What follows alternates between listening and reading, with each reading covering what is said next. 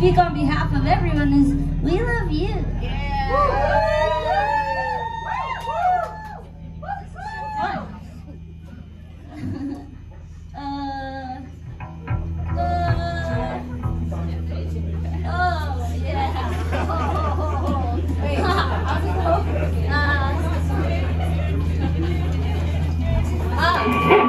Thank you.